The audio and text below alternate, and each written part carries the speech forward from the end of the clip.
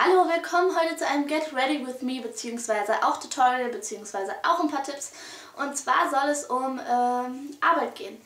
Äh, ja, es gibt einige von euch, die wahrscheinlich einen Nebenjob haben und da denkt man sich immer, wie schminke ich mich, wie mache ich das schnell, äh, wie sehe ich aus, frisch und wie bleibt diese Frische auch mindestens 3-4 Stunden beziehungsweise 5 Stunden. Und da habe ich ein paar Tipps für euch. Ich persönlich arbeite an der Kasse und da ist es natürlich ganz wichtig, ich weiß nicht, ihr wisst ja, wollt ja bestimmt auch, wenn ihr in den Supermarkt einkaufen geht, wollt ihr, dass da euch jemand entgegenblickt bzw. entgegenlächelt, der nicht wie der letzte Vollhorst aussieht und ähm, euch einigermaßen sympathisch entgegenlächelt.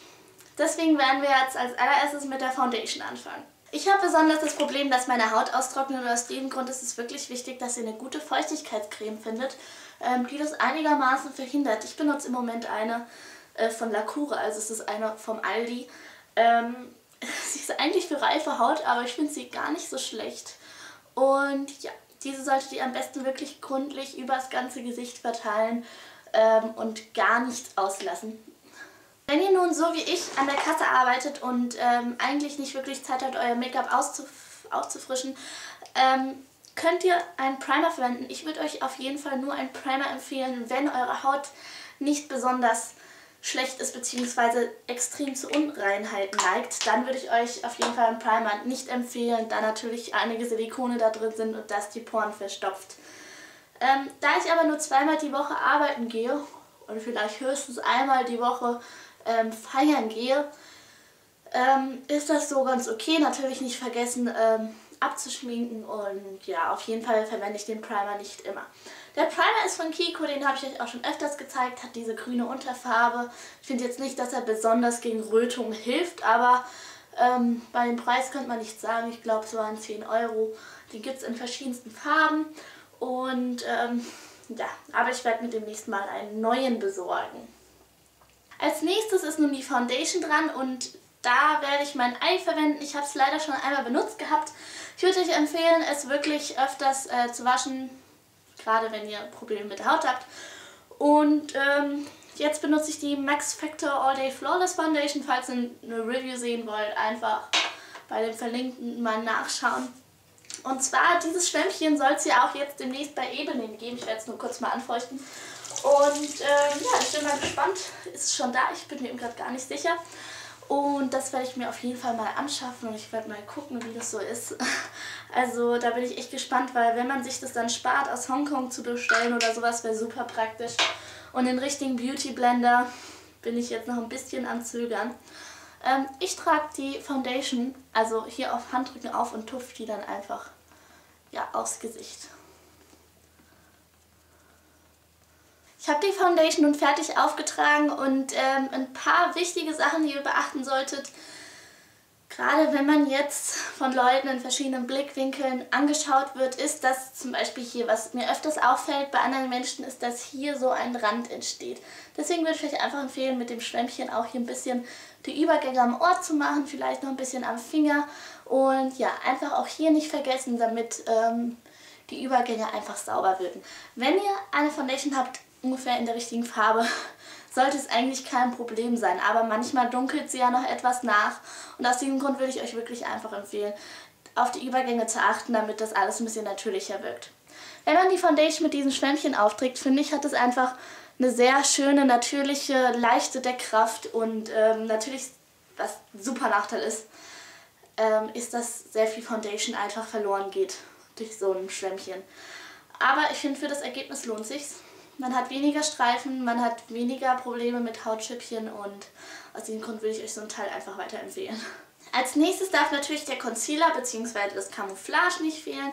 Ich benutze immer noch das von Art Deco, das wird einfach nicht leerer, was ja eigentlich keine negative Sache ist. Ähm, ja, ich gehe ein bisschen in meine Augenringe, versuche das reinzutupfen und dadurch, dass ich so fette Augenringe habe, ist es eigentlich fast unmöglich, die komplett abzudecken.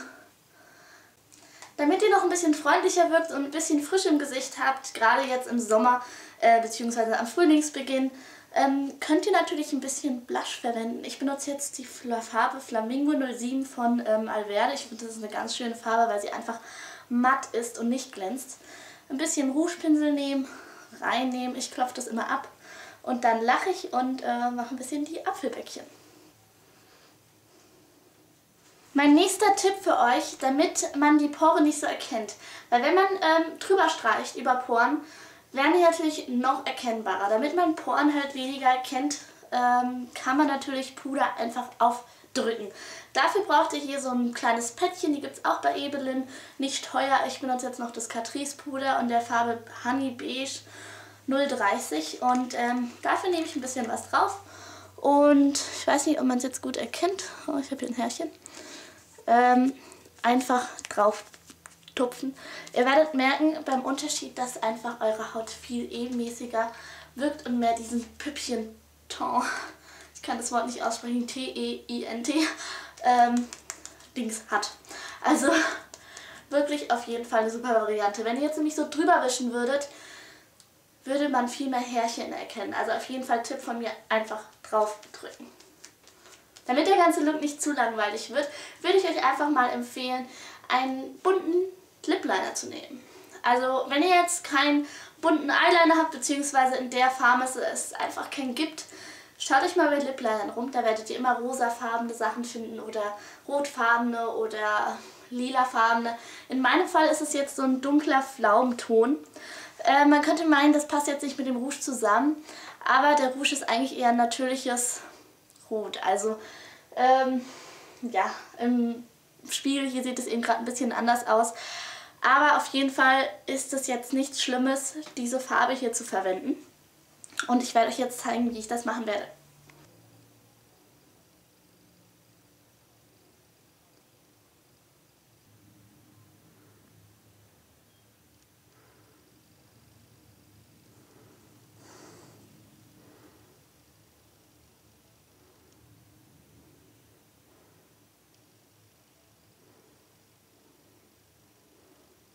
Das ist nun das Ergebnis und ich finde, es gibt einfach so einen kleinen ähm, ja, Kick. Keine Angst, der Lip Liner ist long lasting. Und zwar ist er von Manhattan und er heißt Extreme Last Lip Liner, also er hält auch auf den Lippen ziemlich lange. Auf den Lippen ist er leider ein bisschen dunkel, aus diesem Grund habe ich mir gedacht, warum benutzt du ihn nicht einfach als Eyeliner? Und es klappt hervorragend, hält lange und ähm, kann ich euch auf jeden Fall weiterempfehlen. Ihr könnt natürlich auch, damit eure Augen einfach ein bisschen größer wirken, ihr seht ja schon, wenn ich runterdrücke, leicht runterdrücke, dass das weiß ist und dass mein Auge dann etwas größer wirkt. Also einfach weißen Kajal, wenn ihr wollt, dass eure Augen größer aussehen. Wenn nicht, ein bisschen schwarz nehmen. Ich gehe jetzt nur in die Ecke rein. Und ähm, benutze im Moment Vaseline einfach nur von Balea, ist sie ganz billig. Ähm, ja. Und da trage ich einfach von Anfang an ein bisschen was auf die Lippen auf und ähm, ja, sonst benutze ich nur noch einen Pflegestift. Ab und zu mal, wenn ich kurz an die Pause gehen darf. Und ansonsten ist der Look eigentlich an sich im Gesicht her fertig. Ihr könnt natürlich noch ein bisschen eure Augenbrauen machen und sie ein bisschen kämmen, was ich auch schon getan habe.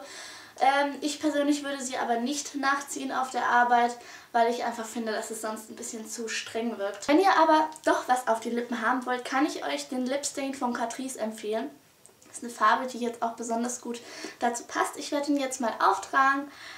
Ich habe noch, ich hab noch das drauf und es ist jetzt aber erstmal nicht schlimm, weil ich finde, wenn man vorher schon ein bisschen Lippenbalsam drauf ist, verteilt sich die Farbe vom Lipstain einfach besser.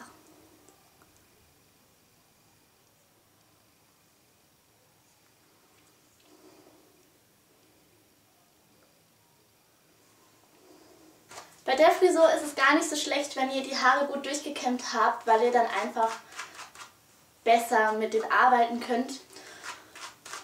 Und ja, es ist eigentlich eine ganz einfache Dutt-Frisur. Also einfach nur mit einem Dutt-Kissen bzw. mit einer Socke klappt das auch super. Ich wollte es euch nur noch mal kurz zeigen. Wenn ihr sehen wollt, wie man die Haare um den Dutt wickelt, was halt etwas länger dauert, deswegen mache ich das nie, ähm, könnt ihr euch natürlich das Dutt-Kissen-Video anschauen. Ansonsten kann ich euch diese Technik empfehlen. Und zwar ist es bei mir so, einen Moment, dass ich die Haare alle nach hinten kämme und dann versuche einen hohen Zopf zu machen. Für die Frisur braucht ihr jetzt noch ein Duttkissen und ein paar Haarnadeln und noch ein paar Haarklammern. Ähm, das könnt ihr eigentlich alles bei H&M kriegen, DM, Müller, also Ähm, so Duttkissen gibt es ja mittlerweile fast überall. Oh, doof, wenn man so lange Haare hat. Also ich würde euch an meiner Stelle, ich zeige euch ganz kurz Duttkissen, ein größeres Duttkissen empfehlen, wenn ihr so lange Haare habt wie ich, ähm, weil es dann einfach besser geht.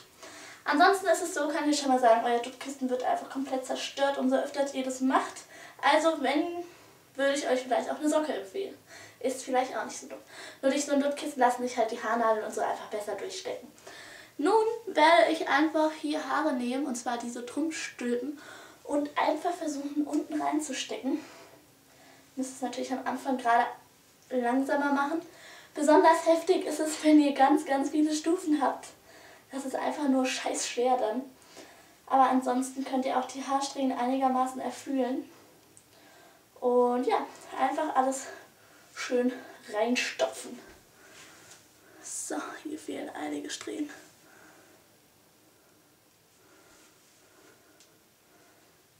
Ich habe es dann auf die Reihe bekommen. Ihr seht, dass es auch so halten würde. Aber ich finde einfach, um die Form ein bisschen besser hinzukriegen und dass das Ganze halt einfach ein bisschen ordentlicher aussieht, würde ich ein bisschen ähm, ja, ein paar Klammern verwenden. Natürlich habt ihr dann auch die Sicherheit, dass es einfach länger hält. Die Teile, ähm, viele schreiben immer, dass sie Probleme haben, dass sie auch halten. Bei mir ist es so, dass ich einfach versuche, wie so einen kleinen Widerhaken zu machen. Und zwar sie reinstecke nach in die Richtung und dann nach innen wieder reinschiebe. Und ja, das ist eine Technik, die bei mir eigentlich ganz gut funktioniert und so halten die Teile meistens dann auch. Aber ansonsten ist das hier mein Look, um zur Arbeit zu gehen. Ich hoffe, es hat euch ein bisschen inspiriert und ich hoffe, ihr findet es nicht too much. Ähm, ich finde den Look ganz gut, damit einfach so ein bisschen Frische in euer Gesicht kommt und die Frisur sieht folgendermaßen aus. Ähm, ja, der Dutt ist eigentlich zum Glück mal nicht schlecht geworden. Hatte ich heute mal Glück gehabt und ähm, Ansonsten bis zu meinem nächsten Video und lasst mich wissen, ob es euch gefällt. Bis dann. Tschüss!